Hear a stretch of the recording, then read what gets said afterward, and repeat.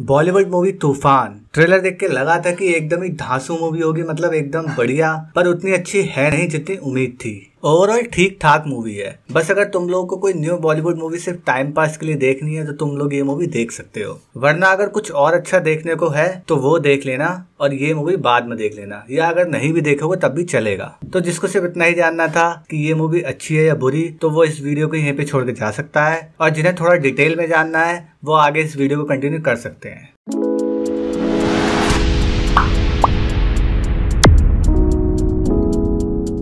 तो ये movie direct की है राकेश ओम प्रकाश मेहरा ने। ये वही डायरेक्टर हैं जिन्होंने भाग मिल्खा भाग डायरेक्ट की थी। और इस बात को ट्रेलर में मेंशन भी किया गया था। ट्रेलर तो अच्छा था ही और जब ये देखा कि ये फ़िल्म उन्होंने डायरेक्ट करी है, जिन्होंने भाग मिल्खा भाग डायरेक्ट की है तो इस वजह से उम्मीद थोड़ी और ज़्यादा बढ़ गई थी। लगा था कि हाँ यार मूवी तो अच्छी होगी, पर जैसे कि मैंने बताया कि मूवी उतनी अच्छी नहीं है। प्लस ये मूवी ढाई घंटे से ऊपर की है, पर प्रॉब्लम ये नहीं है कि ये मूवी ढाई घंटे से ऊपर की है। प्रॉब्लम है इस मूवी की स्टोरी का स्क्रीन प्ले पर उससे पहले बात करते हैं स्टोरी की। तो स्टोरी कुछ ऐसी है कि एक करेक्टर है अज़ीज़ अली उर्फ़ अज्जू भाई, जो कि एक गुंडा है और हफ़्ता वसूली का काम करता है। तो शुरुआत में ही अज्जू भाई जाते हैं किसी को फोड़ने और उस लड़ाई में ऐसा टीज किया गया है कि अज्जू भाई का मुक्का काफ़ी अच्छा है। तो उस लड़ाई में अज्जू भाई को भी चोट लगती है। तो अज्जू भाई जाते हैं एक चैरिटी हॉस्पिटल में, जो कि वही है जहाँ वो रहते हैं, यानी डोंगरी में। वहाँ उनकी मुलाकात होती है डॉक्टर अनन्या प्रभु से, जो पहले तो अज्जू भाई का इलाज करती हैं, पर जब अज्जू भाई उन्हें अपने बारे में बताते हैं तो वो बोलती है की गेट आउट और पहली फुर्सत से निकल लो। अब यहाँ तक की स्टोरी में दो बातें टीज हो चुकी है।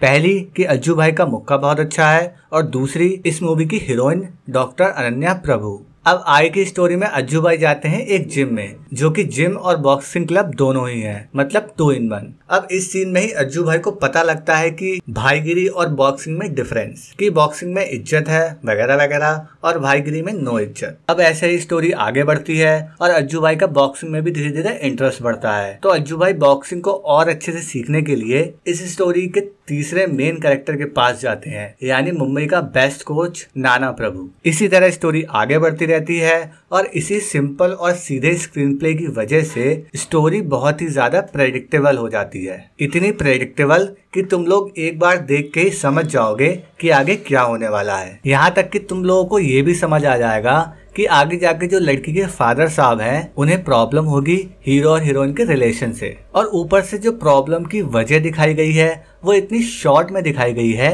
कि अगर तुम लोगों ने वो छोटा सा सीन मिस कर दिया तो तुम लोगों को पूरी मूवी में प्रॉब्लम का रीजन समझ में ही नहीं आएगा। प्लस सिंपल स्क्रीन प्ले की वजह से ये मूवी हमें बहुत ही कम पॉइंट्स पर सरप्राइज़ करती है। इनफैक्ट कुछ सीन्स को तो मूवी के एक्टर और एक्ट्रेस ने अपनी खराब एक्टिंग की वजह से बिल्कुल बेकार ही कर दिया है। एग्ज़ाम्पल के लिए ये सीन इस सीन में साफ़ दिख रहा है की कि किस होने वाला है। पर दोनों एक्टर्स की खराब एक्टिंग की वजह से ऐसा लगा की हीरो हीरोइन को इस सीन में किस करना ही था। मतलब ऐसा लग ही नहीं रहा है की अचानक से मोमेंट बना और हीरो हीरोइन के ना चाहते हुए भी अपने आप ही किस हो गया। प्लस मूवी में जो एक काफ़ी अच्छा खासा सीरियस पॉइंट था, जो कि ये था कि हीरोइन के फादर साहब की नाराज़गी, कि क्यों वो अपनी बेटी और दामाद को अपनाना नहीं चाहते हैं, कि क्यों वो अपनी बेटी और दामाद को अपने से दूर रखते हैं। अब इस पॉइंट को मूवी में बिल्कुल भी स्क्रीन टाइम नहीं मिला, जिसकी वजह से ऑडियंस ये समझ पाए या ऑडियंस को ऐसा लगे कि हाँ ये जो भी मूवी में हो रहा है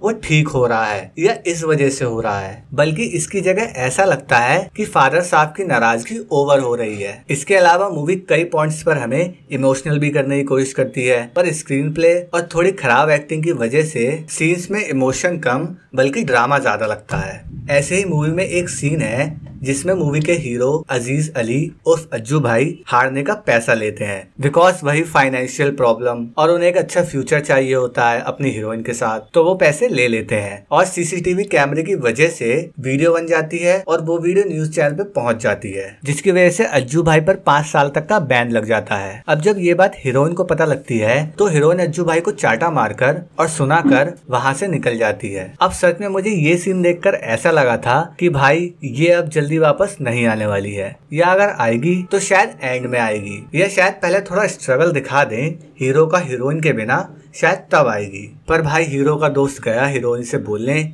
कि वो तुम्हारे बिना मर जाएगा, इसलिए तुम चलो उसके पास। और भाई, अगले ही सीन में हीरोइन हीरो के पास। और वो भी कब? जब हीरो नाश्ता बना रहा था। और ये सीन उस डायलॉग के जस्ट बाद का है, जब हीरो के दोस्त ने ये बोला था कि तुम चलो उसके पास, वरना वो मर जाएगा। मैं थोड़ी देर शौक में आ गया कि ये क्या मज़ाक चल रहा है। मतलब कि यार, जब हीरो के दोस्त ने बोला ना कि तुम चलो और बंदा वो मर जाएगा तुम्हारे बिना। तो मुझे लगा कि यार कम से कम दारू पिया हुआ तो पड़ा होगा अपने रूम में। पर भाई नहीं, लौंडा नाश्ता बना रहा था, वो भी अपने लिए, वो भी आराम से। इस सीन को देखने के बाद मेरे दिल से सिर्फ़ एक ही आवाज़ निकली कि हीरो तो नहीं, बल्कि ऑडियंस ज़रूर मर जाएगी इस सीन को देखकर हँसते हँसते अब अगर कुछ पॉजिटिव और अच्छी बात करें तो इस मूवी में मुझे जो लगी, वो ये लगी कि जो मूवी की एंडिंग में फाइट दिखाई गई है, उसमें ऐसा नहीं दिखाया गया है कि सामने वाला हीरो है तो वो सिर्फ़ मारे ही जा रहा है, या बहुत आसानी से फाइट जीत रहा है। बल्कि फाइट देखकर ऐसा लगता है